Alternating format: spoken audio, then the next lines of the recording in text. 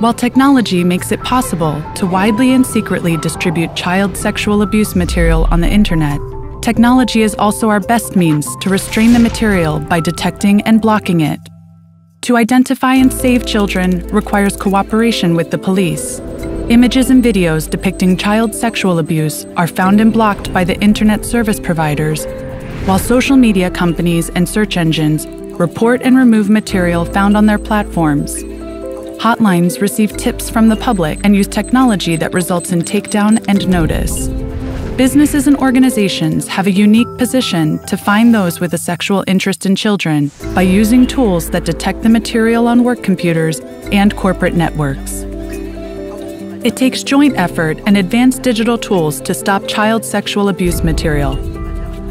By following the trail of a detected image, new material can be found offenders can be prosecuted, and children can be rescued.